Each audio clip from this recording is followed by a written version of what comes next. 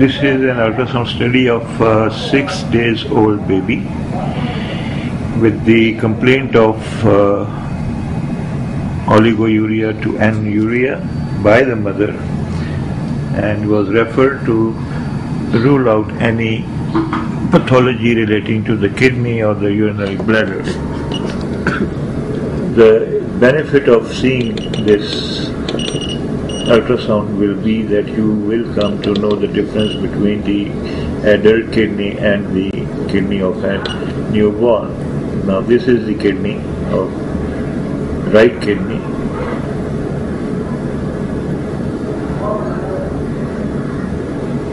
In long axis. You can see that this is the outer capsule, the intact. The cortex is thin but as echogenic as the liver is because the infant's liver and kidney uh, uh, cortical echogenicities are almost equal. Now this is the liver of the baby. These are the pyramids. These black areas, cystic areas, triangular to rhomboid shape. These are the calyces and the calyces are always very prominent, slightly dilated in uh, infants. Another important thing is that you will not see central sinus echo complex in these babies. Here we see central sinus echo complex which is not present though the parenchymal thickness is fine. The measurement of this kidney is 3.7 centimeter in length and uh, almost approximately 2.0 centimeter in anterior-posterior diameter. This is the liver.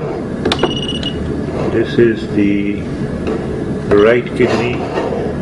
All of this is the right kidney in longitudinal section.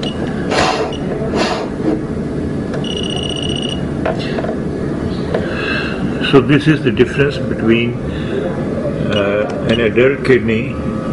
You don't see thin parenchyma, uh, thin cortex, sorry, because you see the cortex measures 2, 2 millimeters only and the parenchyma, we, if we combine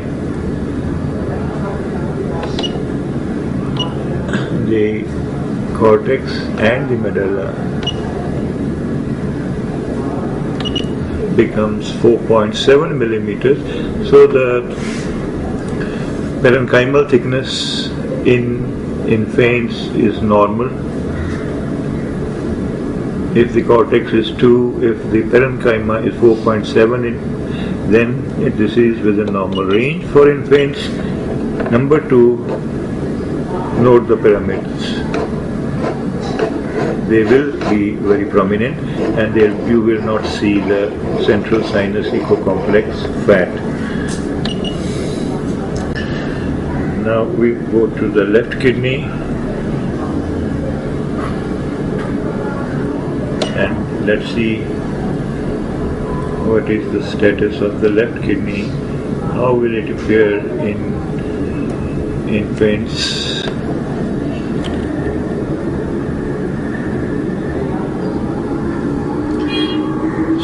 changes as you saw from the adult kidney will be seen in this kidney as well.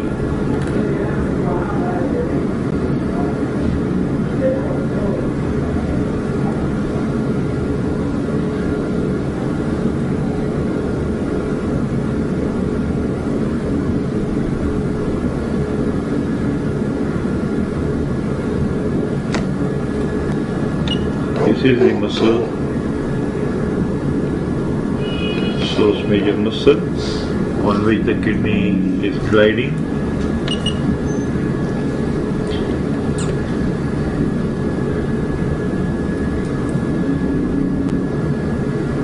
And this is the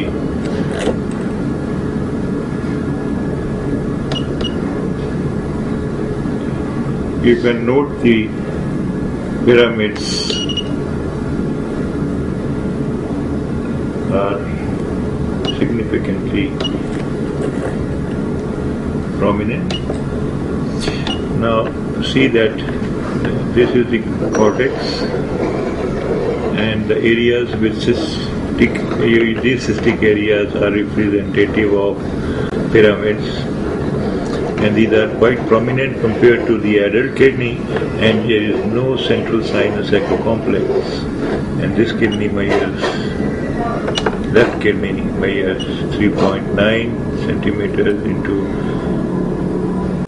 2.1 centimeters. Again this is within normal for infant age 6 years 6 days sorry. This is the left kidney. This is the longitudinal view. So this kidney is also normal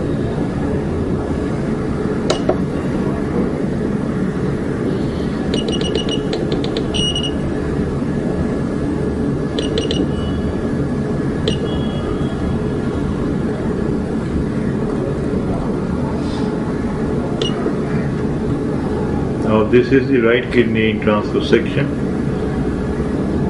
and you can see the renal vein entering into it. This horseshoe shaped or crescent shaped structure that you are seeing in which vessels are entering and leaving is the transverse section of the right kidney. this is the transverse section of the right kidney and uh, these this is the cortex this is these are the medulla and no central sinus echo complex and this is the right renal vein entering the hilum the left kidney coming towards the left kidney. Gases are interfering a lot however we can make up for these gases.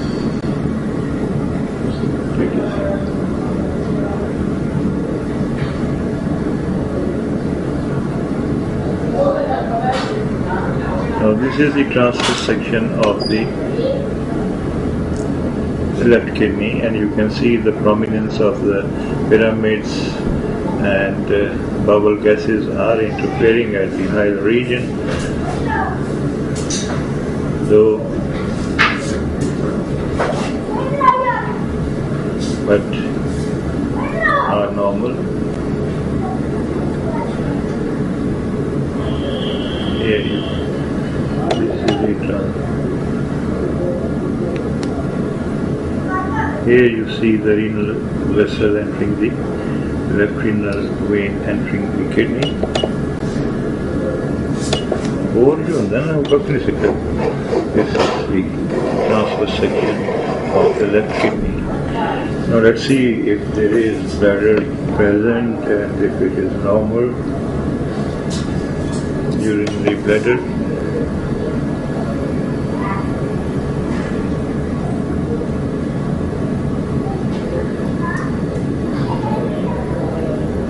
this is the urinary bladder in transverse section.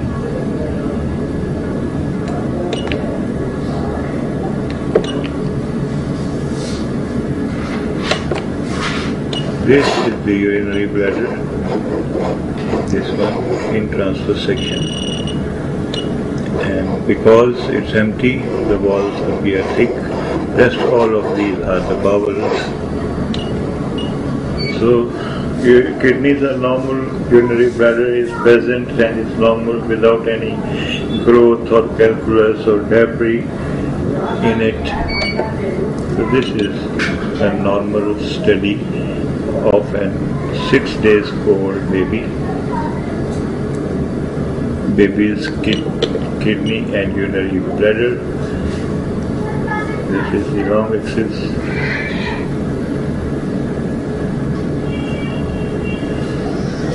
Intelligence Classes, which is the longitudinal section of the urinary bladder at this area.